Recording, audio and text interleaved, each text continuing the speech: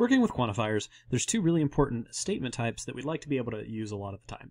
The first is the statement that every object satisfying the predicate P also satisfies the predicate Q. So the use of the word every in this statement implies that we're going to need a universal quantifier, so I'll put that for all x there. And we know that a p of x and a q of x are going to be involved. The only question is what should the connective between p and q be?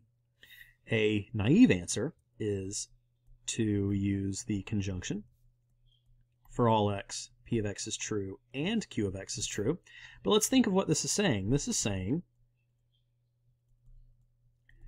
everything in our domain, so I'll just write everything, is a p and a q. That's not what I want to say. I want to say that everything that already is a P is a Q, even though some things aren't going to have the predicate P apply to them. So what I really should have is I should have a conditional. For everything in my universe, if it is a P, then it is a Q. So the conditional is the correct way to symbolize the statement every P is a Q. When symbolizing the statement some objects with the property P will have the property Q, we will have an existential quantifier. Because of the word some, that means that it's true for at least one object in our domain, not necessarily all of them. We'll have a p of x, and we'll have a q of x. And this time, the conjunction is appropriate, because what we want to say is there is something in our universe that is both a p and a q. Finally, let's talk about what's going to happen when we have multiple quantifiers and multiple subjects. Let's take as an example the statement C of xy, meaning that x and y are classmates. Observe that in this case, uh, the order of the subjects x and y doesn't matter. If x is y's classmate, then that means that y is x's classmate. So this is not going to be like the planets orbiting each other. The order is not going to matter. So in the first case, let's consider where I have two existential quantifiers. Another way to write this would have been there exists an x such that there exists a y such that c of xy. But when all of my quantifiers are the same, eh, it, but when all of my quantifiers are the same, I like to just use a single quantifier and then all of the variables next to it. What this means is that we have one object called x, and it is being paired or is classmates with another object called y. That's all there is to it. One x, one y.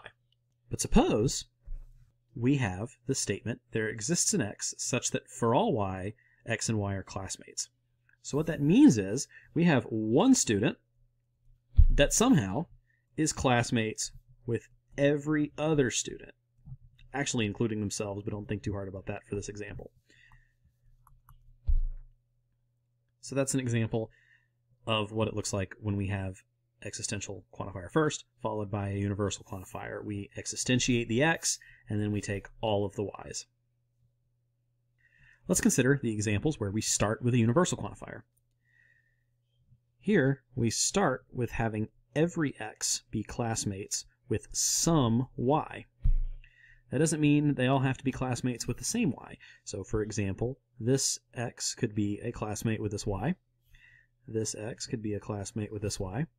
Maybe this x is a classmate with both of these y's. It doesn't say that they only have one classmate. They just are guaranteed to have at least one classmate.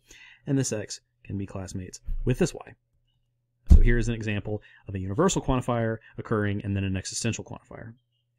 Finally, in the case where for all x and for all y, x and y are classmates, that means that everybody in the school is classmates with everybody else in the school. This is the worst of the diagrams, which is why it is last. Everybody is a classmate with everybody else.